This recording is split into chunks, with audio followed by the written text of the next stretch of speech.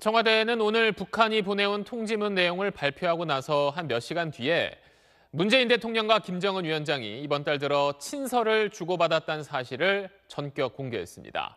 그뿐 아니라 그 친서 내용까지 모두 다 밝혔습니다.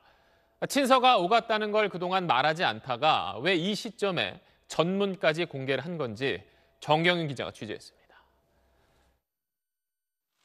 서훈 청와대 국가안보실장은 북한 통지문 공개 브리핑 뒤 2시간 만인 오늘 오후 4시 이번엔 문재인 대통령과 김정은 위원장이 주고받은 두 개의 친서 전문을 공개했습니다.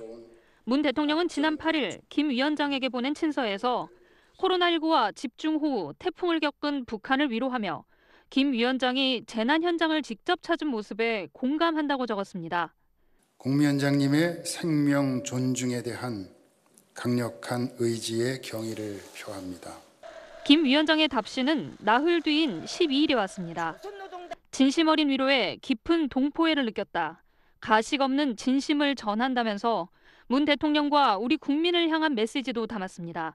어려움과 아픔을 겪고 있는 남녀과 그것을 함께 나누고 언제나 함께하고 싶은 나의 진심을 전해드립니다. 관계 개선에 대한 기대도 담겼습니다.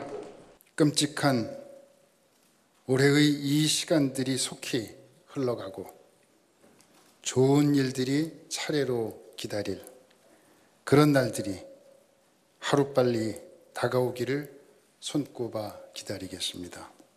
북한이 개성 남북 연락사무소를 폭파한 뒤 남북 간 일체 연락선이 끊긴 것으로 알려졌는데 남북 정상 사이엔 친서 교환이 이어지고 있었단 얘기입니다.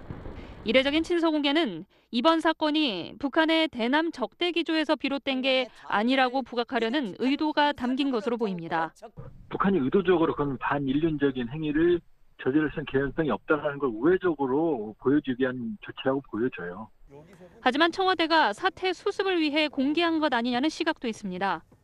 외교 관례상 친서 공개엔 상호 합의가 필요한 만큼 이번 친서 공개에는 북한의 의도도 담겼을 가능성이 큽니다.